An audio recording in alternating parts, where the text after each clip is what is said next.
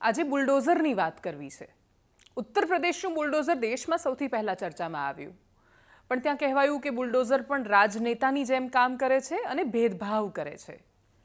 પણ ગુજરાતનું બુલડોઝર તો અલગ છે અને સેક્યુલર છે.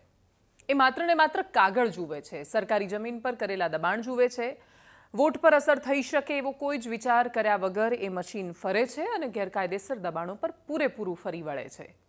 આ છે દાદાનું બુલડોઝર. નમસ્કાર, આપની સાથે હું દેવાંશી.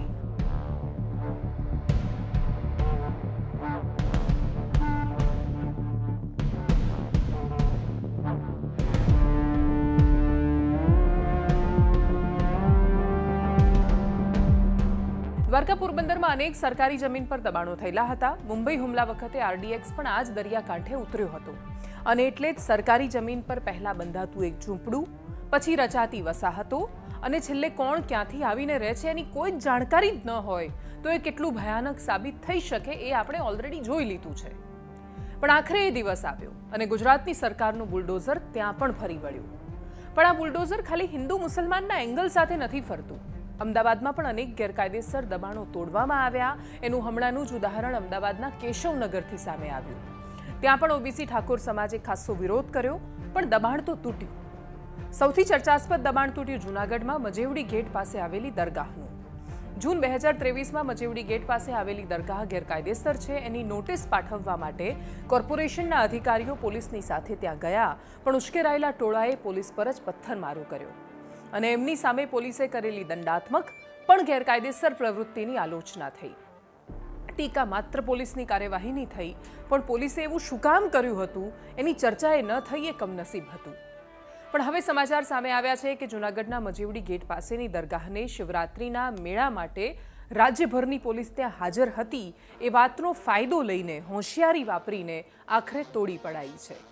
આખી વાતને હિન્દુ મુસલમાનનો એંગલ ન અપાય એ મહત્વનું હતું અને એટલે જ સાથે એ વાત પણ તમે જાણી લો કે બુલડોઝર ખાલી દરગાહ પર નથી ફરી વળ્યું.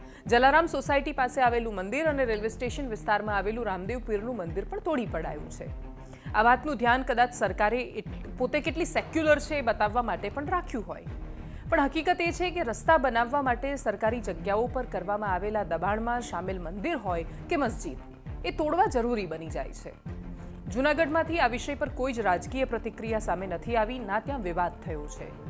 એનું કારણ કદાચ એ પણ હોય કે ભૂતકાળમાં વિવાદનું પરિણામ બંને પક્ષોએ જોઈ લીધું હોય. જેનું પણ ઘર, મંદિર કે મસ્જિદ તૂટે છે, એમની પાસે કહેવા માટે દુઃખની કહાનીઓ હોય છે. અને એમની જોડે સંવેદના હોવી પણ જોઈએ આપણી. પણ કોઈ પણ પ્રકારનું દબાણ થાય છે. એ ગામડાઓમાં ઘરની દિવાલ ખેંચીને રસ્તા પર થતું દબાણ હોય કે શહેરમાં ધર્મસ્થાનો કે જાતિ વિશેષની વસાહતો બનાવીને. તમારે યાદ રાખવું પડશે કે એક દિવસ તો કોઈક સરપંચ, કોઈક મેયર, કોઈક અધિકારી કે પછી આવા કોઈ મુખ્યમંત્રી આવશે અને આ દબાણો તોડી પાડશે. સૌથી મહત્વનો વિષય અહીંયા એ પણ છે કે આ બાંધકામો બને છે અને વર્ષોના વર્ષ સુધી ટકી જાય છે. બધું જ ગેરકાયદેસર હોવા છતાં બધાને બધા જ પ્રકારના કનેક્શન મળી જાય છે. ત્યાં સુધી કોઈ કેમ કશું કરતું નથી? કેમ ત્યાં સુધી કોઈ બોલતું નથી કે આ ગેરકાયદેસર છે? આ પ્રકારના દબાણ ન થવા દેવામાં આવે એ જ સરકારની પ્રાથમિક ફરજ છે. બાકી આગળ આગળ કોઈ તોડતું જાય ને પાછળ દબાણો બનતા જાય, થતા જાય, તો કોઈ દિવસ આનો મેળ ખાવાનો નથી.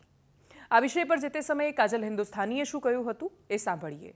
कि पिचासी प्रतिशत मुसलमानों में से सत्तर से पिछहत्तर प्रतिशत मुसलमानों के मकान, दुकान, घर, ज़मीन सब अवैध कब्जा करी हुई है।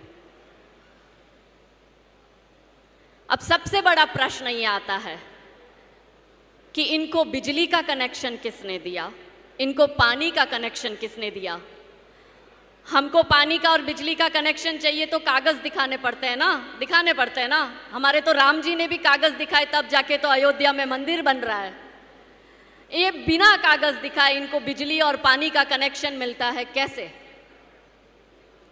क्योंकि कुछ सरकारी अधिकारी जो आज के औरंगज़ेब और मोहम्मद गौरी बने बैठे हैं, वो खुद लिखकर इनको हमारी जगह दे रहे हैं।